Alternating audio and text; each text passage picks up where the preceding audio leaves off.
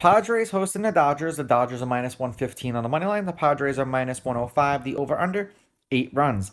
The Dodgers laying a run and a half on the run line are plus 145, meaning if you bet them that way, they have to win by two. And the Padres getting a run and a half on the run line are minus 175, meaning if you bet them that way and they win this game outright, you'd win, or if they only lose by one, you win. Urias pitched five times, or Urias pitched five times against the Padres last year. Five innings, one run, one earned. They won six to one in San Diego. Six innings, one run, one earned. They won twelve to one in LA. Seven innings, two runs, two earned. They won eight to four in San Diego. Six innings, no runs, no earned. They won one nothing in ten innings in San Diego. Five innings, three runs, three earned. They won five to three in LA. So every game that he pitched in last year against the Padres, the Dodgers won. Musgrove pitched three times against the Dodgers last year, and it's a tale of two different teams because they lost every game that he pitched against the Dodgers.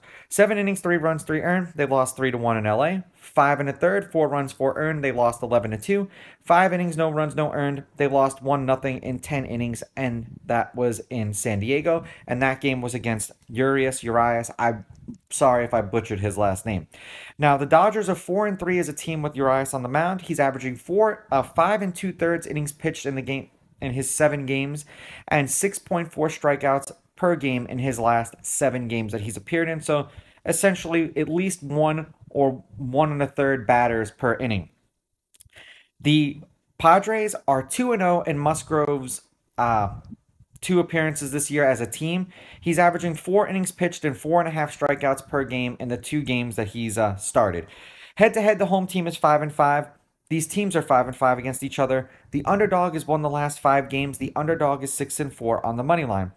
The underdog getting a run and a half on the run line is seven and three. There have been four one-run games in their last ten, two in their last four. The under has hit in their last two. The under is six, three, and one, and the under eight specifically is six, one, and three. So eight seems to be the magic number because it hit it three times.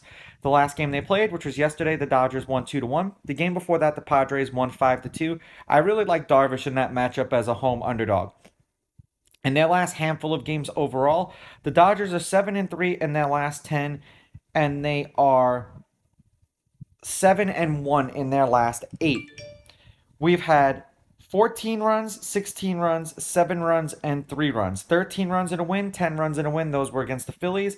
2 runs in a loss, 2 runs in a win. Those were against the Padres.